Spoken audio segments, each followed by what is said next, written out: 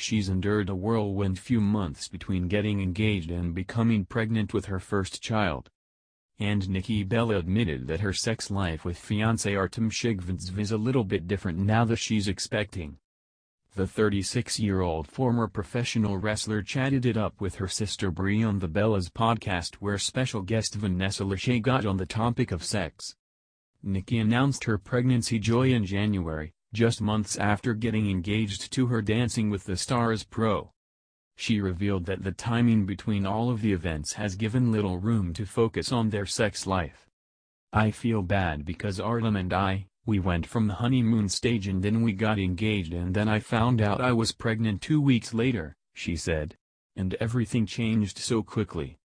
He has to deal with crazy hormones right now and trying to piece life together, and I deal with a lot of construction, so, poor guy. The two-time WWE Divas champion thought that the couple had reached the seven-year itch despite only dating for a little more than one year. Our sex life goes so on and off. And I don't know if it's me, Nikki said. I will admit, last night it was the first time that I told him, hey, can you massage my boobs? And then I pushed the hand lower and was like, can you massage down there, too? Thanks.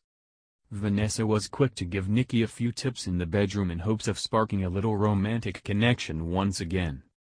If you tell Artem, I want to have sex with you in the shower, so we need a bigger shower. I have a feeling he'll be like Extreme Home Makeover and in 48 hours you'll have a brand new marble shower.